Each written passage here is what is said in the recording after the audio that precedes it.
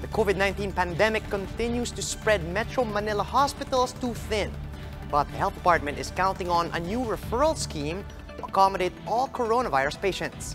To give us the latest, Greg Gregorio is reporting live from Mandaluyong. Greg, what are the latest sentiments from uh, hospitals in the metro? Charles, some private and public hospitals in Metro Manila say they have already stretched their bed capacity according to the health department's request. But according to them, it is still not enough. The Commonwealth Hospital and Medical Center in Quezon City has 24 isolation beds for COVID-19 patients. But on Friday, they have reached their full capacity. Of the number, 22 are currently occupied, while some are patients await admission at the emergency room. This prompted hospital to seek the transfer of COVID positives as well as suspect patients that require admission to other healthcare facilities. Hospital Assistant Director Dr. Jose Madrid says they have already complied with the health department's requirement to allot 20% of their total bed capacity to COVID-related cases. But at this point, they admitted being hard-pressed to accommodate more.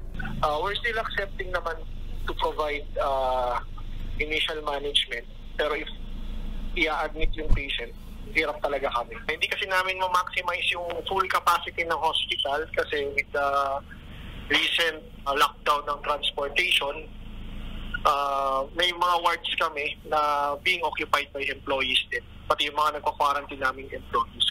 Things are likewise difficult for the Lung Center of the Philippines. As a public hospital, it has already allotted more than 30% of its bed capacity for COVID patients per request by the DOH. As one of the first COVID referral hospitals in the metro, they are already dedicating 75% of their total bed capacity to COVID-related cases.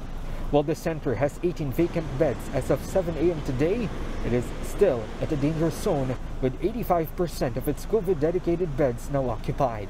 In response, the DOH says it has intensified the implementation of its One Hospital Command System, which aims to strengthen the referral system among different hospitals.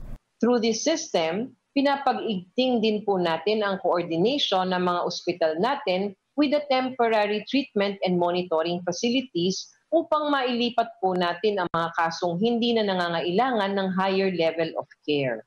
Meanwhile, both of these hospitals say they are in need of manpower. Lung Center of the Philippines spokesperson Norberto Francisco says they could use 50 to more than 100 additional nurses. It's difficult and it's it's exhausting, it's tiring, but do we have a choice? Wala eh. We,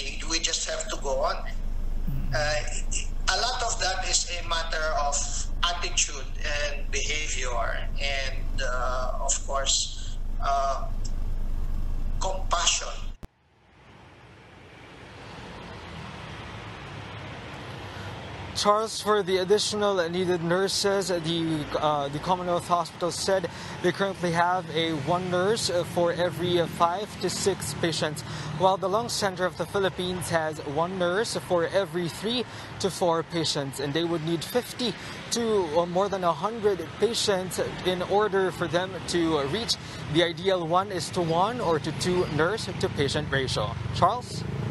Thanks for that, Greg. That was Greg Gregorio joining us live from Mandaluyong.